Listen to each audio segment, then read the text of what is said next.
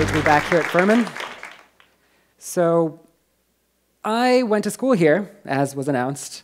I started my journey here in 2003, and I would say that I was perhaps um, often feeling like I was going against the grain here. It was a different campus back then, that was about 12 years ago, and it's changed in many different ways. Um, so I was part of the Environmental Action Group, which I believe is a, is a student group that, was still, that is still around in some capacity today. And um, around 2005, I think it was, that my group of, uh, of friends uh, in the Environmental Action Group, we decided that we were going to have a referendum on campus. Um, we, we decided that climate change was a real concern and that there was a way that the university could take a bold initiative to address it. And the referendum would actually help offset our greenhouse gas emissions. And the way we were going to do this was by having a small uh, increase to student fees in order to purchase wind power credits to offset the emissions. Needless to say, um, the initiative or the, the referendum failed by a pretty significant margin. And it was around that time that I thought about um, what kinds of perspectives are really required uh, to address a complex issue like climate change. Um, and I wanted to think about how I could create an educational experience for myself here at Furman um, that would help me understand that. So I actually went about um, designing my own major. I, I, borrowed from six different departments, everything from philosophy to economics and, of course, environmental science and biology, and packaged it into something called ecology and sustainable development. And um, you know, studying a, a, complex issue like climate change requires all these various perspectives. Little did I know then, of course, that this major, this experiment that I had created, would ultimately end up serving as the template uh, for what we know to be the sustainability sciences degree here today. Um, and I have to say that so much has happened in that amount of time here at Furman that it has become the university that I always wanted to attend. Um, and when I graduated from Furman in 2007, um, I wanted to experience um, the world outside through this collection of perspectives. Um, and the world of climate change, the debates um, have always been around different perspectives developed country versus developing. Um, basically, those that want to uh, focus more on behavior, human behavior change to address the issue, or those that want to focus on technological solutions. Um, those that are skeptics about the challenge actually existing. And of course, the overwhelming scientific consensus that this is a real problem. And nowhere is this issue more interesting to study than a place like India, a country of more than a billion people, with, at that time, more than 300 million people without access to electricity, and the need to bring hundreds of millions of people out of poverty while still keeping in check their emissions. So I packed my bags and I went to India. Uh, very naive that I was going to solve India's climate and energy problems. Of course, that was not the case. Um, and also had the opportunity at that time to go to a very important conference being organized in Indonesia, which is not far from India. It was a UN Global Conference on Climate Change in 2007, and it was going to figure out what the post Kyoto Protocol world was really going to look like. And what I learned through that experience was that there is a whole collection of young people that had mobilized, that had wanted a, a space to voice their opinions to the policymakers and translate the implementation of that at the grassroots level. But what I learned was that the, the opinions um, of the stakeholders that get ignored the most or taken for granted are the young people. Um, and that's important um, because amidst all the debating, all the negotiation, all the old people that are really making the decisions, the people that will live out uh, the impacts of climate change are the young people. And having a seat at the table is very important. And, and I also learned that you know, there are more organized groups of young people in many of the developed countries, but not so much in the developing countries. So I happened to go as part of the US youth delegation, but was one of the only, I think, the only Indian youth representative there at the time. And I introduced myself to a senior government official. And I said, you know, I'm a youth delegate. And I was told very pointedly, youth should have the same view as their elders. And that was something that, you know, having grown up in the US, I couldn't, um, couldn't really stomach. And also just sort of my, my champions along, the, along my journey, uh, my family, friends, professors here, I knew that I had to have my, uh, my opinions and my actions be taken seriously. So I took to heart what this individual said. And I said to myself, next year I'll be back, and I'll be back at the negotiating table with you um, and that I would spend the rest of my fellowship year in India really trying to create um, an impossible idea come to life, to come to life. And um, what this really was um, was an experiment that I didn't anticipate growing as big as it did.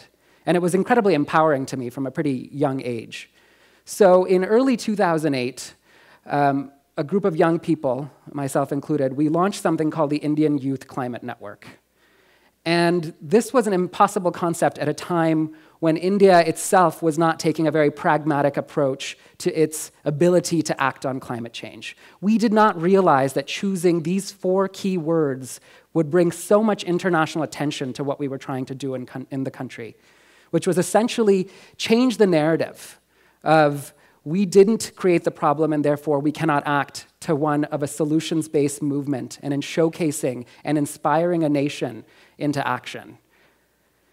And one of the ways we did this um, was in early 2009. We, in what might have seemed like uh, a traveling circus, um, a collection of young people got together uh, in Indian manufactured, engineered and manufactured electric vehicles and traveled 3,500 kilometers from the southern city of Chennai to the capital of New Delhi to showcase the solutions uh, to climate change that the country had within it. Um, people thought we couldn't do it, and, and let me take a moment to explain why this was such a bold idea, and so many traditional players thought that we were crazy. Um, one being that at the time, you know, Tesla had only just released their first prototype vehicle to test their electric drivetrain, so nobody really had heard of them. Um, in India, 300 million people lacked access to electricity, and here we were, a bunch of young people self organizing to travel across the country uh, uh, you know, amidst rolling blackouts to try and undertake this journey. The message was clear we were going to create, communicate, and celebrate the solutions to climate change and really inspire the next generation of young people and older people uh, into what the capacity was for a nation to really address the issue. And I'm pleased that today we see the dialogue has been transformed in a country like India. Long story short, um, well, not the end of the story, but um, what the details that I, I don't want to spend too much time on, I came back to the US, I got a master's, I started a PhD program. I even had the chance to see how our own federal government works um, during my time at the Department of Energy and how we work collectively with other countries to help solve a complex issue like climate change through the lens of energy innovation. So I spent some time at the US Department of Energy uh, in the International Affairs office uh, managing the US India bilateral energy relationship. And one of the really breakthrough projects that was launched uh, sometime in the late 2000s was called the Partnership to Advance Clean Energy Research. And the idea was really to provide more investments for critical research and broaden the geography of innovation, to have scientists and industry come together from these two countries and have a joint intellectual property sharing agreement for innovations that might come out of it.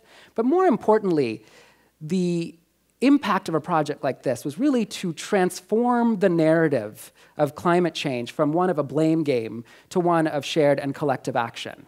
And really bringing together two countries that may seem poles apart uh, in the development spectrum to be able to come together in this space. In 2016, the President of the United States suggested that, uh, or declared, that we would be pulling out of the Paris Accord, the Paris Climate Accord. And there was a lot of um, dismay about this, a lot of concern among the environmental community and, and the community at large that care about this issue. But I think that there has been a surge of momentum to increase the ambition at the local level. And over the last two years, I've really decided to focus on throwing myself behind another impossible idea that really, collectively, at the state and local level, we can really move the needle to address this issue. And I think this is important because states, they are the laboratories of innovation, they are the theaters of policy implementation. And ultimately, you know, places like Greenville, South Carolina, um, and Jodhpur, Rajasthan, which is the place that I was born, can have a lot to share and collectively act to address the issue. So, over the last two years, my colleagues and I, we have been throwing our, um, efforts behind a project, a really unique project called the US India State and Urban Initiative. And the idea is that we can bring together a new collection of state and local leaders to help address this issue. And the, one of the ways that we did this was in, in late 2017, we brought together nine US states to be in dialogue with seven Indian states to talk about what the grid of the future really looks like. As we have more intermittent, cheap, renewable energy coming into the grid, we will need to find ways to store this energy. We will need to deploy a whole range of smart power technologies for better power management. And we'll have to deal with more people throwing solar panels and other types of technologies onto their own roofs and deal with the disruptions to the grid. And what we learned was, you know, having Missouri and Michigan and Nebraska and California, when you see them side by side with their counterparts from states like Uttar Pradesh, from Telangana and Tamil Nadu and India's south, that they have more in common, even though they're coming from such different perspectives, that they are trying to ultimately address the same sticky questions around managing their energy transition. More recently, we've brought together two states, one on each side, to have focused discussions around strategic energy partnerships and how they might learn from each other. And a really good example of this has been the conversations between the state of Colorado and the Indian state of Gujarat. And what I'm proud to say is that this new mode of trying to have a dialogue, a model process for engagement, is really possibly going to be the way to move the needle you know, we can have discussions at the federal level, even at the international level, but the states will play a major role. And ultimately, be it Greenville, South Carolina, or the northeastern Indian city of Guwahati in India's northeast, the solutions to climate change, the challenges of climate change that bind us together, also bind us in the search for solutions. Thank you.